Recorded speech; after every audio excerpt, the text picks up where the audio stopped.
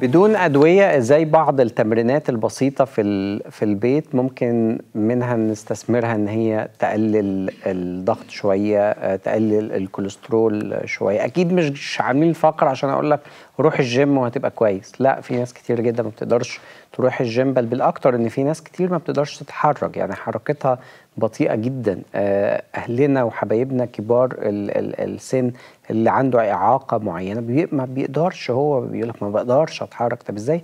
بعض الحاجات البسيطة اللي ناخد بالنا منها بعض التمرينات الصغيرة اللي نقدر نعملها في البيت وإحنا بنتفرج على التلفزيون وإحنا قاعدين آه، بنسمع حاجة تسهل الأمور علينا. شرفنا يكون معانا أستاذ محمد الجرزاوي الكاتب الصحفي بمؤسسة أخبار اليوم. أهلا بحضرتك. أهلا وسهلا بحضرتك. نورنا. منوره بحضرتك آه عايز أعرف من حضرتك هل فعلا يعني ممكن تمارين بسيطة في ال- في البيت أو إزاي أنا أصلا أتعود إن أنا في البيت لازم كل يوم يبقى فيه نشاط آه، حركي يبقى فيه نشاط تمارين وتبقى المدة اللي حضرتك بتفضلها تبقى قد إيه؟ يعني هي ال- المدة ال- ال- الأفضل يعني للكل في حاله إن آه، بنتكلم عن حد في حالة صحية جيدة آه، 150 دقيقة في الأسبوع يعني بمعدل آه، 30 دقيقة كل يوم لازم نص ساعة في اليوم نص ساعة في اليوم مم. ففي تمارين بسيطة جدا زي ال- المشي ممكن تتمارس في البيت مشي أو يعني آه، تمارين الضغط تمارين البطن. آه، تمارين بسيطة يعني ممكن الواحد يعملها في البيت مش محتاجة أجهزة زي زي الجيم يعني. مم. يعني ممكن اللي هي تمارين الضغط تمارين ال- ال- الجري في المكان حاجات كده يعني بس من. غير لو ساكنين في مكان عالي بلاش عشان الناس تحتنا يعني بيعملوا مشكلة آه طبعا. طب أنا عايز أسأل حضرتك على آه، آه، الضغط مثلا. من الحاجات اللي بتؤرق المصريين وعدد كبير جدا من المصريين عندهم مسألة الضغط العالي. يمكن بتوع الضغط الواطي دول قليلين جدا يعني. آه إحنا بنشرب كافيين كتير. آه لكن بتوع الضغط العالي دول موجودين بشكل آه، كبير جدا. إيه الحاجات اللي أنا ممكن أعملها فعلا تقلل من الضغط؟ يعني هو لو كلنا قللنا من القهاوي والشاي الكتير اللي إحنا بنبقى يعني الشعب المصري كله بيشرب الشاي المشروب ال- الرسمي بتاعنا كلنا أي. ده هيساعد في ضبط ال- الضغط عندنا شوية. مم. لو آه، الن- النوم كويس طبعا آه، شر- شرب بمعدل من المية كافي للجسم آه، لو طبعا لو في رياضة ده هيبقى ممتاز طبعا ده هيساعد ضبط الدورة الدموية في الجسم بشكل عام يعني. مم. طب إيه الرياضات اللي ممكن تتع... تتعمل تقلل شوية من الضغط؟ ممكن السباحة ممكن آه، ركوب عجل. مم. آه، دي متهيألي تمارين بسيطة مش م- مش محتاجة إن الواحد ي... بس يعني إحنا معظم آه، يعني معظم حبايبنا اللي بيشوفونا هم قاعدين في البيت. يعني أنا عايز حاجة تناسب البيت أكتر يعني. ما هي تمام يعني أنا- وأكيد يعني هو لو واحد سباح وبيلعب سباحة هتبقى الصحة عنده 100 100 يعني. لكن إحنا بنتكلم على قدنا يعني ما الحركة قليلة كبار سن مش قادرين مش إيه الحاجات اللي ممكن نعملها؟ يعني ممكن آه، لو يعني أعتقد إن لو واحد بيتمشى آه، نص ساعة في اليوم آه، دي مش م- مش مجهود كبير. آه، مش تمارين قاسية يعني. ال- التمارين اللي هي ال- الاسترتشنج مثلا ممكن يعمل شوية استطالة. استطالة لل- للجسم يعملها في البيت. دي تمارين بسيطة. والأفضل طبعا لو نبتدي نركز في ال nutrition في التغذية بتاعتنا إحنا جسمنا بيدخل له إيه؟ يعني ممكن في ناس كتير بتبقى بتاكل حاجات كتيرة بتعلي ال- الكوليسترول في الجسم. ممكن نخفض من الحاجات دي أو ن يعني ن الأفضل إننا نلغيها خالص في مرحلة معينة. زي إيه مثلا؟ يعني في آه، بعض الأكل زي البيتزا زي اللازانيا مثلا في حاجات دي بت- كلها بتعلي نسبة ال- الضغط في الجسم وبتعلي الكوليسترول. يعني المعج... معجنات. المعجنات بلاش منها. بالظبط. بالإضافة كمان إن يعني أنا لاحظت في الفترة الأخيرة إن ممكن تلاقي آه، حملات إعلانية بنشوفها في في في, في الافلام بتشجع اننا ناكل ال- المعجنات. بتبقى الشركات دي بت بتحاول طبعا إن هي الحاجات دي لازم يشجعونا. بالظبط. يعني شفت فيلم كرتون امبارح يعني بدون ذكر أسماء إيه، إنتاج ضخم عالمي طبعا. امم ب... أنت أول ما هتتفرج على الفيلم هتخرج منه يعني البطل بتاعه آه، قط.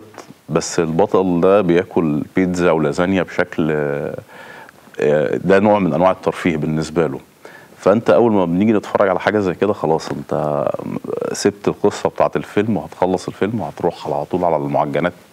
بس بنشوف بلاد يعني مثلا آه، الطلاينة مثلا آه، يعني البيتزا ده مش بياكلها مرة في الأسبوع تقريبا بياكلها كل يوم يعني زي الفول والطعمية عندنا. تمام؟ بس عندهم- ومع ذلك الأجسام بتاعتهم لطيفة وحلوة وبيعيشوا أعمار طويلة جدا. ده حقيقي لأن ممكن آه، ال lifestyle بتاعهم غيرنا. في نشاط رياضي مستمر في آه، ناس بت بتمارس الرياضة lifestyle مش مش لمجرد إن أنا عاوز أروح الجيم شوية عشان أخس وبعد كده أرجع تاني إيه آه، اللي أنا خسيته أرجع آه، أزيده تاني. فال lifestyle أو ال- العادات اليومية بتاعتنا هي دي اللي بتغير. طب لو حضرتك مثلا لو إحنا بنتكلم على أهلنا كبار السن هم إحنا معنيين بيهم أكتر إن إحنا ننصحهم يعني. ف إيه ال lifestyle أو ال- العادات اليومية اللي لازم يعملوها عشان تحسن من جودة الحياة عندهم؟ هي المواظبة على ممارسة الرياضة. آه لو آه اتبعوا النظام مثلا أنا أنا عن نفسي برشح آه النظام اللي هو الفيجيتيريان إن هو يبقى نباتي أكتر. النبات دايما فيه فايدة لينا كبيرة جدا. ويعني لو لو فكرنا مثلا إن في ناس بتفكر أنا لازم آكل لحمة عشان أبقى صحي عشان أبقى في في جسمي بروتين. لا طبعا. النبات برضو فيه بروتين يعني ال- الفول اللي إحنا بناكله ده فيه بروتين هايل جدا بس خالي من الدهون طبعا مش زي اللحمة. آه في آه، السوداني. في حاجات كتيرة مفيدة للجسم نباتية كويسة. تمام. لو إحنا اتجهنا للاتجاه ده ده هيبقى lifestyle ممتاز لينا يعني. تمام. طب آه، يعني هل ممكن ممارسة الرياضة في البيت بدون معدات للحاجات الرياضية وكده؟ آه بالظبط ممكن آه وفي برضو يعني أنا يعني آه، هي الحاجات هتبقى محدودة اللي في البيت. يعني هتبقى زي المشي زي آه، الجري في المكان مثلا. هتبقى الضغط ال- البطن تمارين البطن. آه وبعدين آه يعني هي كويسة طبعا بالنسبة ل- لأهالينا من كبار السن. بس يعني هيبقى أفضل لو إحنا الحاجات اللي هي المضرة ما دخلناش لجسمنا أصلا. زي المعجنات كده. إحنا بنشوف أطفال يعني في سن المراهقة أو أقل و... وعندهم سمنة. يعني فبتبقى مشكلة آه، كبيرة جدا يعني. إزاي نتعامل معاهم في السن ده يعني؟ يعني إحنا المقرمشات بقى بالنسبة للأطفال إحنا بنعودهم عليها من سن بدري. السكريات إن إننا. بنقول له دي الحاجة الحلوة. أنا بالنسبة لي يعني أولادي بسمي لهم دي الحاجة المضرة.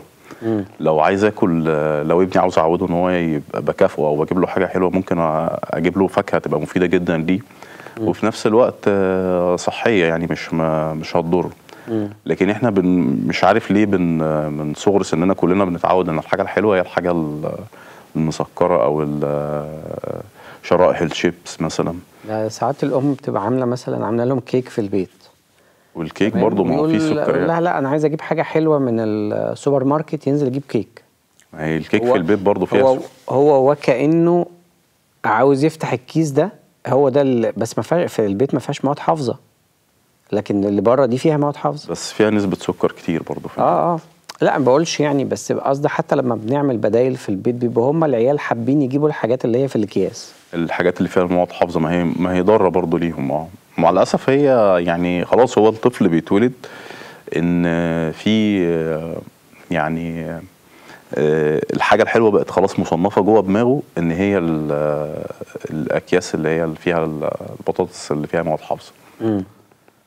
طيب أنا برضو عايز أسأل حضرتك عن بالنسبة لأهلنا كبار ال ال ال السن أوقات بيبقى فيه حاجات مثلا تعال ناخد حاجة حاجة مثلا خشونة ال- ال- الركبة يعني. هل في تمارين معينة بتساعد على إن هي الخشونة دي تقل أو تبقى أفضل؟ هي دي ليها حاجتين. ممكن ال ال- المحافظة على ال ال الوقت اللي هو المشي تمام؟ وفي كمان تمارين اللي هي يعني اللي هي الخاصة بال ب- بالسباحة بس حضرتك بتقولي لازم نخلينا جوه البيت أيوة. فالاتنين آه، كويسين جدا الموضوع ده وفي تمارين اللي هي زي الاسترتشنج كده اللي هي الإطالة مم. تمارين. الإطالة دي بتبقى كويسة لل لمسألة. خشونة ال- الركبة يعني آه طبعا مم. طيب إحنا في عادات غلط بنعملها بوظ لنا الرقبة وتبوظ لنا العمود الفقري ودلوقتي بقى في نسبة كتير من المصريين وللأسف في منهم نسبة كبيرة شباب بيعانوا من ألام في الفقرات مظبوط. وحاجات كده. إزاي؟ إيه العادات الغلط اللي إحنا بنعملها اللي بتبوظ العمود الفقري والرقبة؟ ممكن ت... يعني يبقى عندنا حماس للتمرين قوي إن واحد بيدخل التمرين أنا مش هعمل استرتشنج مش هسخن قبل التمرين. أي. طبعا ل- فايدة الاسترتشنج ده ده مش حاجة ترفيهية قبل التمرين. ده بيهيئ عضلات الجسم والمفاصل لأن هي هتدخل على تمرين قاسي غير لما ندخل بشكل مفاجئ. أي. زي مثلا واحد آه، وهو نايم آه، المفروض إننا نقوم بالتدريج لكن لو قام مرة واحدة أكيد ده هيكون ضار لجسمه يعني. امم فلازم نسخن قبل التمرين. طب في عادات إحنا بنعملها زي مسكة الموبايل القعد كده بنبقى منحنيين شوية آه، قعدة الكنبة في في البيت وإحنا بنتفرج على التلفزيون أو على الموبايل بشكل مش آه، مش لطيف. آه، إيه العادات السليمة أو يعني الحاجات الحركات اللي إحنا بنعملها مش مظبوطة عشان نقول للناس النهارده بلاش ما يعملوهاش؟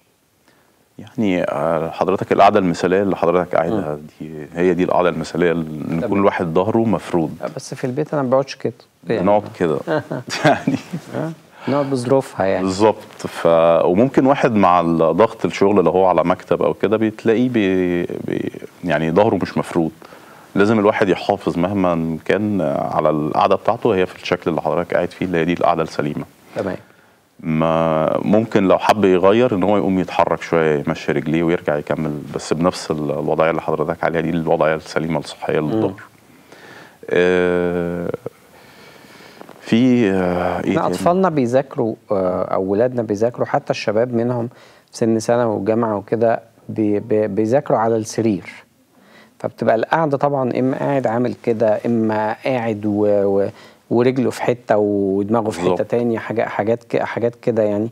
زي يخلي باله إن وقت المذاكرة ده أو وقت حتى الإنترنت إحنا أوقات بنفتح مثلا الصفحة فقاعدين باصين عليها لوقت كتير. يعني بيعدي عدد دقائق كتيرة وإحنا مش واخدين بالنا فبتبقى العضلة آه، ثبتت على وضع معين. إحنا ساعات بنيجي نقوم نلاقي يقول لك الركبة مش قادرة تمشي. بالظبط. في حاجة وقفت في رجلي أو أو رقبتي مش عارفة أعدلها أو جالي صداع بسبب آه، رقبتي. إيه العادات الغلط دي اللي إحنا ما نعملهاش يعني؟ مفيش هو بس كل المطلوب إن الواحد يتجنب إن هو يبقى مش مش في وضع الاستقامة اللي هو جسمه مظبوط ومفرود تمام؟ مع يعني حتى الأولاد وهم بيذاكروا إن هم بيقعدوا على الأرض أو كده لازم هو يكون مهيئ إنه يذاكر في مكان زي مكتب أو على ترابيزة وهو فارد جسمه. أيوه تمام؟ آه بس. في إيه تاني حضرتك آه أنا كمان عايز أسألك على آه يعني ال- الأكل بالنسبة لي في مرحلة الأطفال آه وكده وبتاع إيه الحاجات اللي ممكن تكون بتديهم آه يعني باور أو تدي إن هم يمارسوا يومهم في المدرسة مثلا بشكل سليم؟ أوقات إحنا عشان بنحب اولادنا قوي بنديهم بعض الحاجات اللي بت بتخليهم خاملين في اليوم يبقى في خمول والصحة مش مش تمام. هل في الأكل ليه تأثير في ده سواء سلبي أو إيجابي؟ أكيد طبعا. يعني إحنا ممكن نحط حاجات لاولادنا اللانش بوكس بتاعهم بيبقى خالي دايما من آه، انه ما يكونش فيه حاجة زي الفاكهة مثلا.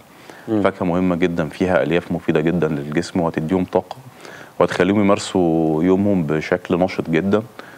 إن هم ي- برضو بالإضافة لل- لنوعية ال- التغذية اللي معاهم ممكن يبقى فيه مع ال- اللانش بوكس يكون فيه شوية سلطة أو أو خيار مثلا معاه. ده كويس جدا ليهم فيه ألياف مفيدة جدا لجسمهم. هم محتاجينها. عملية الإحماء ودي بنسمعها أكتر مع لعيبة الكورة يقول لك في مر- دلوقتي في مرحلة الإحماء قبل الماتش. فهل إحنا برضو ساعات بنبتدي مثلا التمرين ال- ال- بتاعنا في البيت نروح مرة واحدة عايزين نكسر الدنيا بقى وألعب 100 ضغط وحاجات هي كده دي الحاجات اللي إحنا المفروض اننا يعني آه. نتجنبها. وبعدين في حد مثلا بيجي آه، عايز يتمرن لسه مبتدئ. فبيقول أنا هشوف مثلا بيج رامي بيعمل إيه في ال في ال lifestyle بتاعه. لازم نبقى مدرك إن هو في مرحلة المبتدئ. وأنا مش بيج ولا رامي وأنا مش بيج ولا رامي صح. طيب آه ب يعني مع ناخد معانا بمناسبة التغذية آه بيشرفنا يكون معانا دكتور مرقص. أو دكتور مرقص صمويل استشاري ال- التغذية. أهلا بيك يا دكتور. ألو صباح الخير. صباح الفل يا دكتور ازي حضرتك؟ نشكر الله الحمد لله. دكتور عايزين نسأل حضرتك وإحنا بنتكلم على ال- الرياضات اللي ممكن نعملها في في البيت. أهمية ال- ال- التغذية في مسألة ال- ال- السمن اللي ممكن تعمل سمنة أو ممكن تقينا من السمنة والضغط والكوليسترول. آه، تنصحنا بإيه كده؟ روشتة كده من حضرتك. آه، طبعا آه، موضوع السمنة إن هو بيبدأ أصلا بالتغذية باكلي اكلي اللي داخل هو اللي بيحدد إيه اللي هيحصل بعد كده قدام. مظبوط. فلو أنا عرفت أظبط أكلي اللي داخل جسمي هعرف أظبط إيه اللي ممكن يحصل لي بعد 10 سنين. امم يعني قول لي أنت بتاكل إيه هقول لك أنت هيحصل لك إيه بعد 10 سنين. أيوه فالتغذية مهمة جدا. إن أنا أركز كل أكلي على آه، حاجات صحية إن أنا أبعد عن أغلب الحاجات المصنعة أبعد عن السكريات الكتيرة إن أنا ما أخدش نشويات بكميات أكبر من احتياجي. يعني إحنا بنحدد ال- الوزن قد إيه. آه الشخص ده بيحتاج نشويات قد كذا بيحتاج آه، بروتينات قد كذا. خصوصا لو هو مثلا حد اثليت أو بي بيلعب رياضات حتى حاجة بروفيشنال أو حاجة بناخد بالنا في حتة إن هو لازم نديله نسبة بروتين أعلى بكتير من الشخص العادي. غير لو هو شخص مثلا موظف قاعد على كرسي أو حاجة لا البروتين المفروض يبقى بكمية محسوبة عشان خاطر ما نحملش على الكلى إحنا مشكلتنا يا دكتور آه. مسألة النشويات الكتير يعني سواء كنا بالظبط. كبار أو صغيرين إحنا ميالين أكتر للنشويات إحنا مدمنين للعيش إنجاز التعبير يعني بالظبط فعلا إحنا مشكلتنا إن إحنا آه، كل أكلنا بنشويات يعني أيوة. أيوة. لو بناكل حاجة آه، بناكلها بعيش لو بناكل حاجة صحيح. ثانية بناكلها برز بمكرونة جزء كبير من أكلنا بيعتمد على النشويات وده بيرفع لي ال- الإنسولين في الدم فبيخلي ال- الجسم قدام يتعرض لضغط عالي بيتعرض لاحتباس للمية فده بيخلي ال- الجسم يرتبك. تمام. أنا بشكرك جدا يا دكتور على الروشتة الجميلة اللي بننهي بيها حلقتنا ال- النهاردة. بشكرك جدا على يعني المداخلة القيمة يعني. وبنشكر أستاذ محمد الجرزاوي المدرب. الرياضي والكاتب صحفي مؤسسة أخبار اليوم. نورتنا جدا. منورة بيك يا فندم. تسلم. متشكر جدا وبشكركم جدا مشاهدينا على متابعتكم لينا في حلقة النهاردة. إن شاء الله يوم السبت الجاي أكون معاكم أنا وهبة وحلقة جديدة وصباح النور.